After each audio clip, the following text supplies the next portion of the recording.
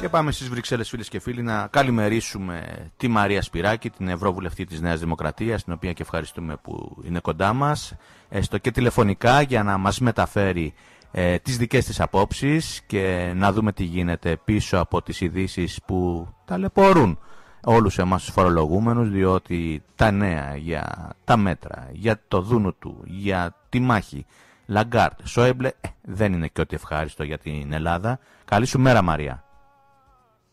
Καλημέρα Βαγγέλη, ευχαριστώ πολύ για την πρόσκληση. Εγώ ευχαριστώ. Εγώ ευχαριστώ και ρωτούσαμε πριν τον κύριο Παπαδημούλη, τον οποίο είχαμε και αυτόν στην τηλεφωνική μας ε, γραμμή, τον Ευρωβουλευτή του ΣΥΡΙΖΑ και με το ίδιο ερώτημα θέλω να ξεκινήσω.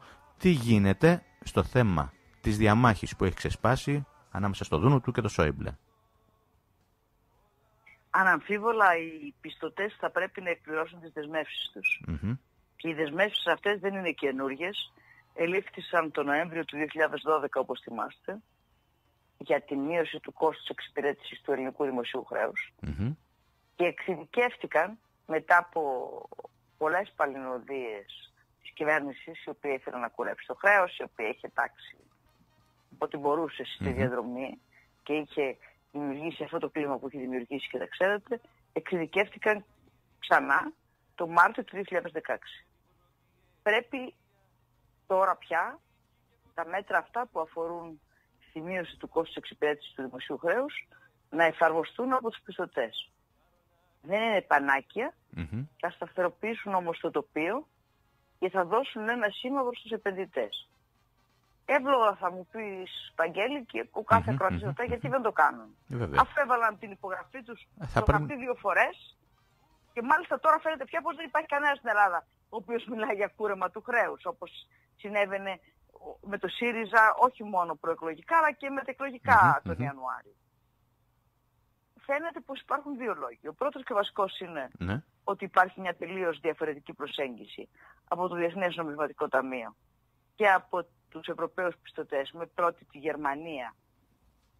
Το Διεθνές Νομισματικό Ταμείο θέλει πολύ γρήγορα να δει μια αξιόπιστη καμπύλη διαχείρισης του κρέους. Η περίφημη καμπύλη DSA για την οποία σας θυμίζω ότι σε τέτοιο ερώτημα οι Έλληνες απάντησαν στο δημοψήφισμα. Βέβαια. Μην κοιτάτε πού. Είναι απολύτως Και η δεύτερη προσέγγιση είναι ότι οι Γερμανοί θέλουν να γίνουν εκλογές, θέλουν να μην ξαναπάνε στα κοινοβουλιά τους συζητώντας οτιδήποτε αφορά στην Ελλάδα. ελάφρυνση του κόστους mm-hmm. διαχείρισης του ελληνικού χρέους στην Ελλάδα. Εκεί ακριβώς είναι η σύγκρουση και εκεί ακριβώς κινδυνεύουμε να κλωτσίσουμε το τενακεδάκι προς τα κάτω. Μάλιστα. Όπως λένε οι, οι Αγγλοσάξονες. Έτσι είναι. Και ακριβως η, κυβέρνηση έχει μόνο μία δυνατότητα. Να προχωρά γρήγορα, να εφαρμόζει τις διαφορετικές αλλαγές και να σταθεροποιεί το οικονομικό τοπίο, κάτι που δυστυχώς δεν κάνει. Είδατε πόσο χρονικό διάστημα πήρε η ολοκλήρωση της πρώτης αξιολόγησης. Βέβαια. Ακόμα στην ουσία δεν έχει ολοκληρωθεί.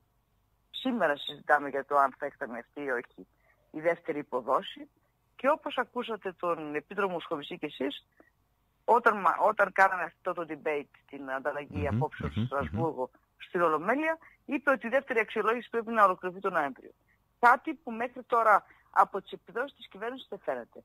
Το σημαντικότερο για μένα όμως είναι ότι η κυβέρνηση ενώ δείχνει ότι νομοθετεί και υπογράφει τα πάντα όλα, όταν έρχεται η ώρα της εφαρμογής, για χρήσιμα ζητήματα, ειδικά σε αυτά που αφορούν στις αποκρατικοποίησεις, δηλώνει υπάρχει, ναι. δημόσια δια των αρμοδίων υπουργών ότι δεν θέλει τις αποκρατικοποίησεις. Και ρωτάω πάρα πολύ απλά, αν κάποιος έχει από ένα ευρώ σε ένα δισεκατομμύριο ευρώ, γιατί να πάει να το βάλει σε μια χώρα, σε μια αποκρατικοποίηση με την οποία ο αρμόδιος υπουργός δηλώνει ανοιχτά και δημόσια ότι κατηγορηματικά αντίθετος; Έτσι είναι και επειδή αυτό που είπες ε, Μαρία Σπυράκη ότι το θέμα θα κρυθεί στις καθυστερήσεις και έτσι είναι αντί να υπάρχει δηλαδή ε, μια πιο γρήγορη διαδικασία το θέμα είναι ότι αν θα υπάρξουν καθυστερήσεις αυτό θα έχει κόστος για τη χώρα.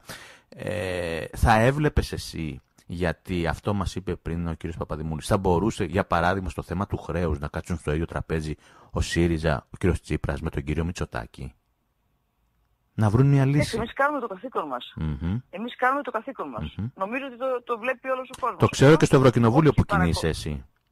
Το ξέρω ότι ότι κάνεις τέτοιες συζητήσεις. Κάνουμε, το καθήκον μας δημόσια και στις κατευθείαν συζητήσεις, ζητώντας να εφαρμοστούν οι δεσμεύσεις των πιστωτών. Από εκεί και πέρα όμως, είναι ευθύνη της κυβέρνησης οι χειρισμοί. Διότι όπως σας ανέφερα πριν, η ολοκλήρωση των αξιολογησεων που αποτελεί προϋπόθεση για να ξεκινήσει το χρέος είναι ευθύνη της κυβέρνησης. Και οι υπουργοί δεν ολοκληρώνουν τις αξιολογήσεις. Και κυρίως οι υπουργοί δεν έχουν πνεύμα εφαρμογής. Αυτό δεν είναι ευθύνη του κ. Μητσοτάκη. Mm-hmm. Ευθύνη του κ. Τσίπρα είναι.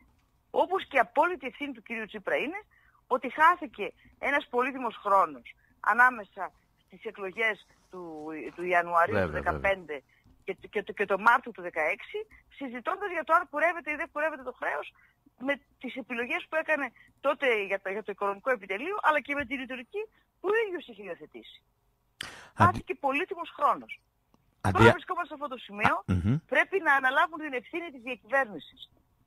Πρέπει να αναλάβουν την ευθύνη της διακυβέρνησης και την ευθύνη της εφαρμογής των δεσμεύσεων που υπογράφουν. Δεν μπορεί δηλαδή, Βαγγέλη μου, για να το πω με απλά λόγια, ο κύριος Σκουρλέτης, ο οποίος έχει αναλάβει να χειριστεί το τομέα της ενέργειας, τη μία μέρα να υπογράφει την εκχώρηση μέρους των μετοχών της ΔΕΗ στο υπερταμείο και την άλλη μέρα να λέει ότι είναι κατά της αποκρατικοποίησης. Δεν γίνεται αυτό.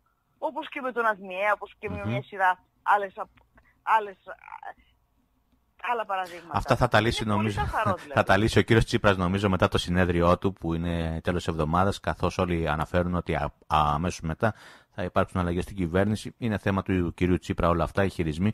Ωστόσο, σήμερα εδώ στην Αθήνα θα υπάρχει η αντιπαράθεση σε επίπεδο αρχηγών στη Βουλή, στη συζήτηση για τη διαφθορά και τη διαπλοκή. Και εκεί ο καθένας έχει τα δικά του όπλα. Τα όπλα της Νέας Δημοκρατίας ήθελα να μου πεις ποια είναι σήμερα στη μάχη αυτή της Βουλής. Καταρχήν πολύ καθαρά εμείς δεν έχουμε σκυλωτό στη δουλάπα μας. Γιατί εμείς δεν έχουμε λογαριασμό με τη διακλοκή. Έχουμε πει πάρα πολύ έγκαιρα ότι το τοπίο έπρεπε να ρυθμιστεί και δεν ρυθμίστηκε. Ο κ. Μητσοτάκης είναι ένας νέος αρχηγός που το έχει πει πάρα πολύ καθαρά όλο αυτό. Εκείνο το περίφημο τρίγωνο ανάμεσα στα μέσα ενημέρωσης, τα δάνεια που έπαιρναν για άλλες τους δραστηριότητες οι μέτοχοι των μέσων ενημέρωσης και τις τράπεζες, εμείς σε καμία περίπτωση ούτε το ευλογούμε ούτε το ευνοούμε.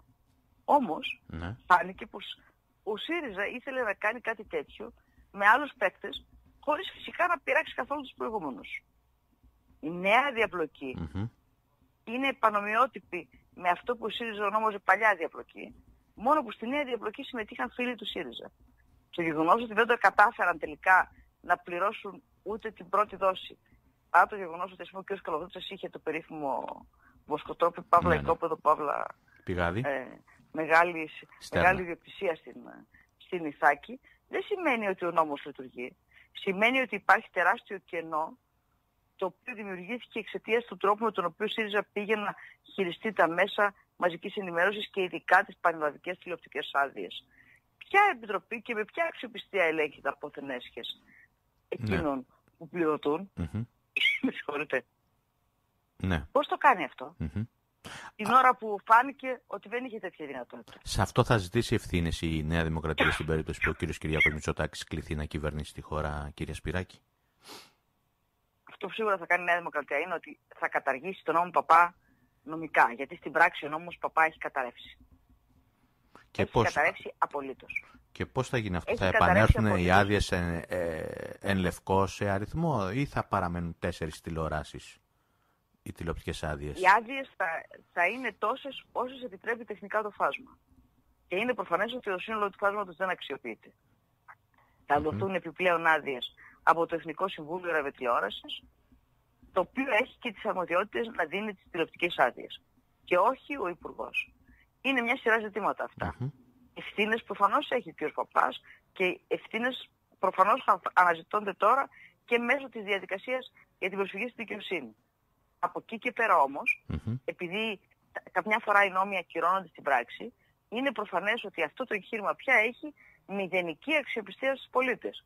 Ξέρετε τι διάβαζα το πρωί, γιατί βλέπω mm-hmm. το σημείωμα που μου στέλνουν οι εργάτες μου την ελληνική επικαιρότητα, ότι λέει καθυστερεί ο ανασχηματισμός γιατί το τοπίο στα κανάλια είναι θολό και υπάρχουν πολλά κανάλια και υπάρχουν κανάλια τα οποία επικρίνουν την κυβερνηση και έτσι το εγχείρημα του ανασχηματισμού μπορεί να χαθεί μέσα στις επικρίσεις των καναλιών. Μάλιστα. Είναι δυνατόν. Μάλιστα. οι Και από την πολιτικές άλλη, πράξεις και από τέτοιου την άλλη εγχειρήματος οι, οι, να οι τέσσερις, εξαρτώνται από το αν θα δεχτούν η κριτική ή όχι. και από την άλλη οι τέσσερις υπερθεματιστές που έχουν βάλει τα χρήματά τους θέλουν να, διαλευ... θέλουν να διαλευκανθεί το τοπίο. Γιατί και αυτοί δίκιο έχουν. Είναι προφανές. Είναι προφανές ότι υ- υπάρχουν αυτή την ώρα ζητήματα. Γι' αυτό το λόγο η Νέα Δημοκρατία αποσαφηνίζει ότι θα δώσει επιπλέον άδειες Μμμ. με εύλογο τίμημα. Είναι νομίζω καθαρό αυτό που λέει η Νέα Δημοκρατία και οι, πο- και οι επιχειρηματίες που συμμετείχαν στο διαγωνισμό προφανώς και έλαβαν υπόψη τους τη θέση της Νέας Δημοκρατίας η οποία είναι το πρώτο κόμμα σήμερα στη χώρα. Ο κ. Μητσοτάκης είναι μακράν ο καλύτερος και ο καταλληλότερος για πρωθυπουργός και ως εκ τούτου είναι προφανές ότι όποτε και αν γίνουν εκλογές η Νέα Δημοκρατία θα είναι ο κορμός της νέας κυβέρνησης. Εκλογές Άρα λέτε. είναι προφανές ότι και Ναι, ναι. αυτό πρέπει να λαμβάνετε υπόψη σε αυτή τη συζήτηση. Εκλογές λέτε εσείς και όχι κάτι άλλο από την παρούσα Βουλή. Αυτό που σίγουρα λέμε είναι ότι η κυβέρνηση έχει απολέσει την εμπιστοσύνη των πολιτών και άρα έχει παντελή αδυναμία να εφαρμόσει. Μάλιστα. Και όταν δεν εφαρμόσει, για να επιστρέψω στο πρώτο ερώτημά σας, παροπλίζεται και δεν έχει επιχειρήματα και δεν μπορεί να υπερασπιστεί και να ζητήσει ούτε καν την εφαρμογή των υπεσχημένων από τους πιστωτές με πρώτη την μείωση του κόστους εξυπηρέτησης Άρα- του ελληνικού δημοσίου χρέους. Άρα κυρία Σπυράκη εσείς Τόσο ανάγκη έχει η Μμμ. χώρα. Πιστεύετε ότι αργά ή γρήγορα η χώρα θα οδηγηθεί σε, σε εξελίξεις, σε εκλογές, σε κάτι δηλαδή το οποίο θα φέρνουν πολιτικές εξελίξεις; Αργά ή γρήγορα αυτό θα συμβεί. Μμμ. Το ερώτημα είναι τι θα έχει απομείνει στο μεσοδιάστημα. Διότι δεν ζητάμε εκλογές κύριε Γιακουμή για να γίνει ο κ. Μητσοτάκης πρωθυπουργός. Επιτρέψτε μου να πω ότι αυτό, αν ο Θεός μας έχει καλά και οι πολίτες Μμμ. συνεχίσουν να μας εμπιστεύονται, θα συμβεί. Εκείνο το οποίο ζητάμε είναι να περιοριστεί η ζημιά στη χώρα. Και όλοι αυτοί οι χειρισμοί, από τη φοροκαταιγίδα μέχρι την αδυναμία να εφαρμοστεί οποιαδήποτε διαρθρωτική αλλαγή, μέχρι την εξίσωση προς τα κάτω στην εκπαίδευση, μέχρι την αδυναμία να επιβληθεί η δημόσια τάξη, οδηγούν τη χώρα προς τα κάτω. Την Μάλιστα. οδηγούν στο τέλμα. Αυτό το τέλμα θέλουμε να αποφύγουμε. Μάλιστα. Λοιπόν, κυρία Σπυράκη, σας ευχαριστώ πολύ που ήσασταν τηλεφωνικά μαζί μας. Ευχαριστώ διότι δεχτήκατε να συνομιλήσουμε και να σας ακούσουν οι, οι συντοπίτες σας, οι Θεσσαλονικείς, ε, μέσω του North 98. Καλημέρα σας. Και θα τα Έτσι κι πούμε... αλλιώς έφυγα τη- το Σάββατο. Ναι, ναι. Το Σάββατο, Βαγγέλη, γιατί, γιατί μας είχαν ειδοποιήσει ότι θα γίνει απεργία των ετών αέραγης της Οπότε κυκλοφορίας. για να μην χαθείς Τελικά δεν... σε κάποιο αεροδρόμιο. ναι, για να μην χαθώ έφυγα, έφυγα από τη Θεσσαλονίκη Έφυγες. τρέχοντας το Σάββατο για τη Βιέννη για να έρθω στις Βρυξέλλες. Τελικά ανακαλύπτει κανείς με πολύ Μμμ. κόπο ότι όσες φορές ας πούμε χρειάζεται, γιατί το, το κάνω πολύ συχνά πια, Μμμ. ότι όσες φορές χρειάζεται κανείς να μετακινηθεί ε, μέσω Θεσσαλονίκης για να φτάσει στη δουλειά του, ότι υπάρχει ειδικά πρόβλημα σύνδεσης της δεύτερης πόλης της χώρας. Και είναι ε, πολύ καλή εξέλιξη το γεγονός ότι το αεροδρόμιο περιλαμβάνεται σε αυτά που θα αναβαθμιστούν. Είναι ένα από Βέβαια. τα 14 που Αεροδρόμια, σωστά. αποκρατικοποιούνται και θα αναβαθμιστούν. Και θέλω να θυμίσω ότι αυτή η αποκρατικοποίηση περιβλήθηκε με τόσους μύθους, με τόσες αντιρρήσεις από την υπάρχουσα κυβέρνηση και με τόσα δάκρυα από τον νέο Υπουργό, που αν στο τέλος προχωρήσει θα είναι προς όφελος όλων των πολιτών πρώτα απ' όλα, αλλά και Σωστά, όλων σωστά, ημών που σωστά, ταξιδεύουμε σωστά. μια φορά την εβδομάδα από Λοιπόν, εκεί. ευχαριστώ, ευχαριστώ πάρα πάρα πολύ. πολύ και πάλι. Καλημέρα. Καλημέρα, καλημέρα, καλή εβδομάδα. Καλημέρα, καλημέρα.